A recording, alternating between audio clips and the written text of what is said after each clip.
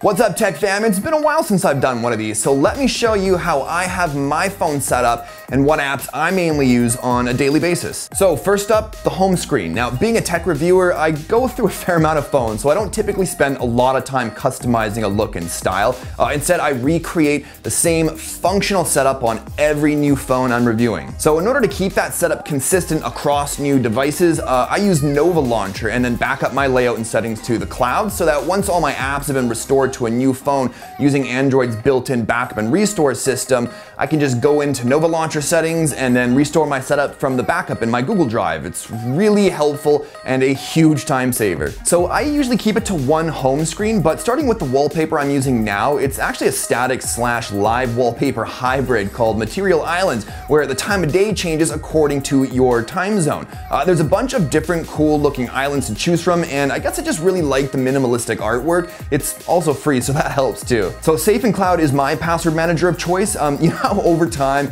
you've signed up for so many goddamn stupid websites and services while only using like 10% of them, but still want access to the other 90% at one time or another?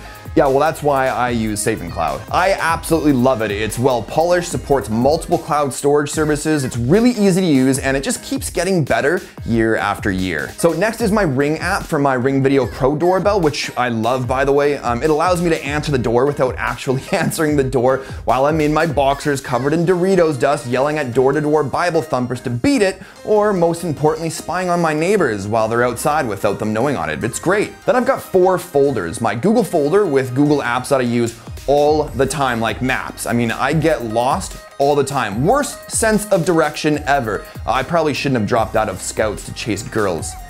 Actually, on second thought, I stand by my original decision. My YouTube folder is a pit of procrastination where I'm either being good in replying to video comments or I've slipped down the rabbit hole on the weird side of YouTube.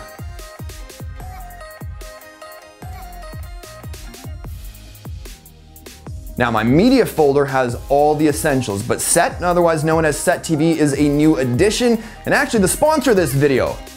So let me be the first to tell you, like sincerely, not just cause I'm making bank.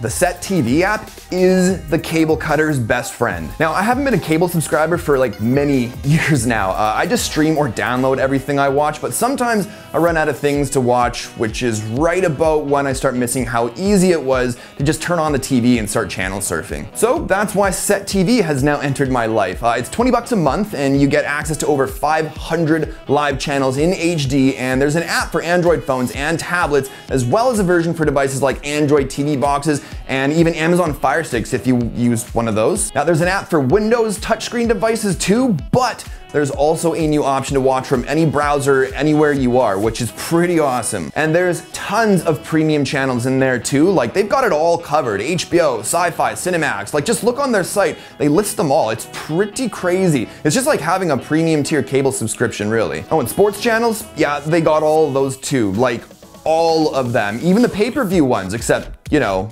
they're free. Pretty dope. Oh, and we can't forget about the Sexy Time channels. They got those too.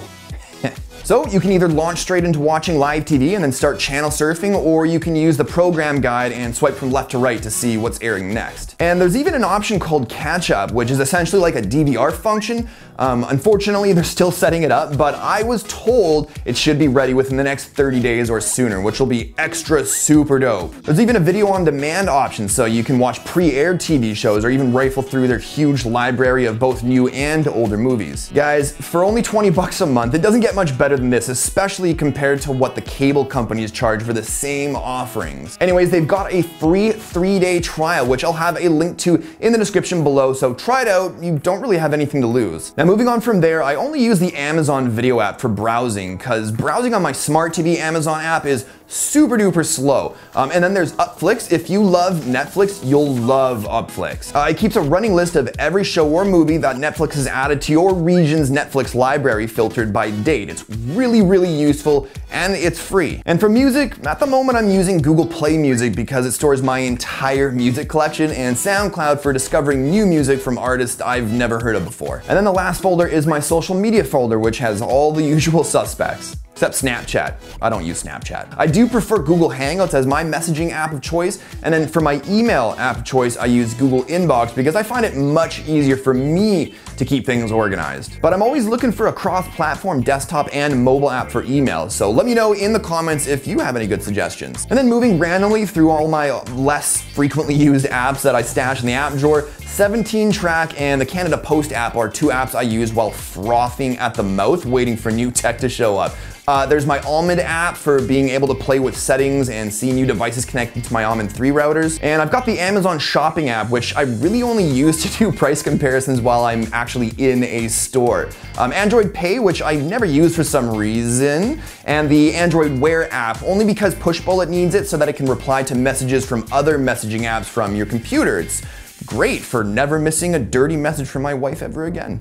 And I guess that brings me to Pushbullet. Now, Pushbullet lets you send files, uh, links, messages between pretty much every major mobile and desktop OS, as well as every major browser. Folks, it's quite simply the bee's knees, the dog's bullocks, the lady's knickers, the Anyways, what's next? Oh yeah, the camera app. Yeah, I prefer using a stock default camera app on any given phone, but if I need some manual controls on a phone that doesn't have any, I will honestly download whatever the top manual camera control app uh, on the Play Store is at the time. So maybe there's another app you guys can recommend for me. Uh, what's the best manual control camera app you know of? Now I've still got the Dream Screen app going, but I don't use it much because I watch content through my smart TV apps like I mentioned my review. So I just keep the ambient light setting on and leave it like that. Gboard.